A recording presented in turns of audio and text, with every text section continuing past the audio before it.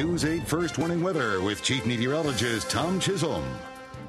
The late evening temperature down to 20 at the jetport, wind from the west and everywhere. Our clear skies reported the perfect combination of factors to bring some very cold temperatures to northern New England for this early in the season.